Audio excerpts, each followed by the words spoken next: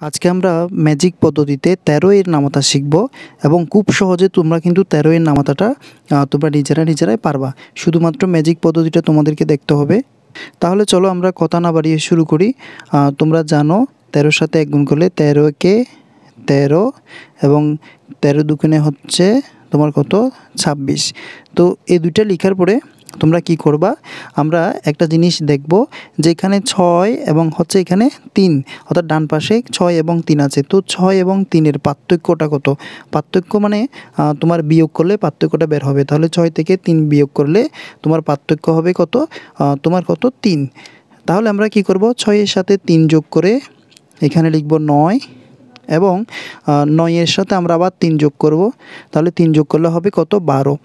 কিন্তু বারোইয়ের এখানে আমরা দুই বসাবো। যেহেতু আমরা বারোটা সম্পূর্ণ বসাই নাই, আমাদের হাতে থাকবে এক। তখন আমরা এখন আমরা দেখো এখানে প্রথম থেকে দেখাচ্ছি। দেখো তিন, তিনের সাথে তিন যোগ করলে হবে ছয়। ছয়ের সাথে তিন যোগ করলে হবে তোমার কত? নয়। নয়ের সাথে তিন যোগ করলে হবে তোমার বারো। তো বারোয়ের আমরা দুই লিখলাম। তো আরেকটা কোথায়? আরেকটা আমরা হাতে রেখেছি। তো এরপর আমরা দুইয়ের সাথে তিন যোগ করলে হবে পাঁচ এবং পাঁচের সাথে তিন যোগ করলে হবে আট। আটের সাথে তিন যোগ করলে হবে এগারো। এগারোর এক বসবে। হাতে থাকবে আবার এক। এরপর দেখো, একের সাথে তিন যোগ করলে হবে চার এবং চারের সাথে তিন যোগ করলে হবে তোমার কত? সাত। তো সাথে সাথে তিন যোগ করলে হবে তোমার দশ, দশের শূন্য হবে, হাতে থাকবে কত? এক। এখন দেখো আমরা এখানে কি করব? তো এখানে আমরা এক, দুই লিখে দিয়েছি, এখন আমরা এখানে লিখব তিন, এখানে হবে চার, কিন্তু আমাদের হাতে এক ছিল, তো এখানে চার, চারের সাথে হাতে এক, তাহলে হবে কত? পাঁচ। চারের একে পাঁচ। এরপরে পাঁচের পর আমরা লিখব এখানে ছয়, এরপর এখানে লিখব সাত, এখানে লিখব আট। কিন্তু আমার হাতে এক ছিল, তো আমরা আটের সাথে এক এটা যোগ করলে হাতে এক যোগ করলে হবে কত? নয়। তাহলে নয়ের সাথে এক যোগ করলে হবে কত? দশ। সে দশের সাথে এক যোগ করলে হবে কত? এগারো। এবং এগারোর পরে হবে এখানে বারো। কিন্তু বারোর সাথে এখানে হাতে এক ছিল, তাহলে বারোর সাথে এক যোগ করলে হবে কত তোমার? তেরো। তো এখন আমরা সম্পূর্ণ নামাতাটা আবার রিভাইজ করব। তো আশা করছি তোমাদের ভালো লেগেছে। তো এই ধরনের খুব সহজ পদ্ধতিতে অঙ্ক শেখার জন্য তোমরা কিন্তু আমার চ্যানেলটাকে সাবস্ক্রাইব করতে পারো এবং আশা করছি তোমাদের উপকার হবে। তো আমরা এখন একটু দেখে নিব যে আমরা এটা কীভাবে করেছি প্রথম থেকে। তো আমরা দেখো তেরোর সাথে এক গুণ করলে তেরো কে তেরো এবং তোমরা জানো তেরো দুগুণে হচ্ছে তোমার কত? ছাব্বিশ। তখন আমরা এই এতটুক সংখ্যা পাওয়ার পরে তেরো এর নামাতা, এতটুক সংখ্যা পাওয়ার পরে আমরা কি করব? ডান দিকে যে দুইটা সংখ্যা আছে, একটা হচ্ছে ছয়, একটা হচ্ছে তিন।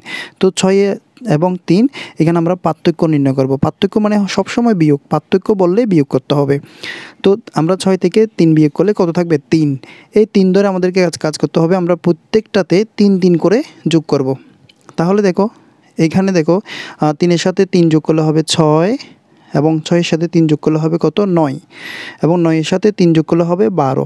বারোয়ের আমরা দুই বসালাম, হাতে আর একটা আমরা হাতে রেখেছি। এখন দেখো, আমরা দুইয়ের সাথে আবার তিন যোগ করে হয়েছে কত? পাঁচ। পাঁচের সাথে তিন যোগ করে হয়েছে কত? আট। আটের সাথে তিন যোগ করে হয়েছে কত? এগারো। কিন্তু আমরা এগারোর এক লিখলাম, হাতে হাতে আছে কত? এক।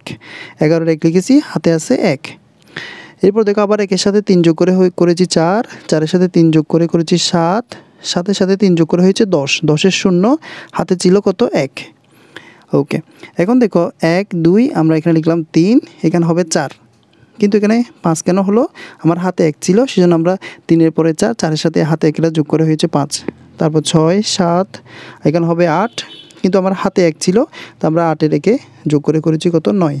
এরপর হবে দশ, এগারো তোমার এখানে হবে, হবার কথা বারো, কিন্তু আমরা এখানে বারো বারো এবং হাতে এক ছিল, সেজন্য বারোর সাথে এক যোগ করে হবে কত? তোমার তেরো। তো এভাবে সহজ পদ্ধতিতে তোমরা আরও নামাতা পাওয়ার জন্য আমার চ্যানেলটাকে সাবস্ক্রাইব করতে পারো এবং অনেক সহজ পদ্ধতিতে তোমাদেরকে আমি যোগ বিয়োগ শেখাবো।